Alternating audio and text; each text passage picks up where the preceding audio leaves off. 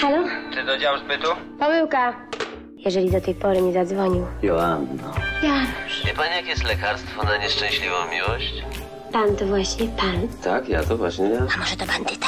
On nie wygląda na mordercę. Ale ty wyglądasz na ofiarę. cyklu Anatomia Miłości Lekarstwo na Miłość. Witamina M, vitamina Boże, na co on czeka?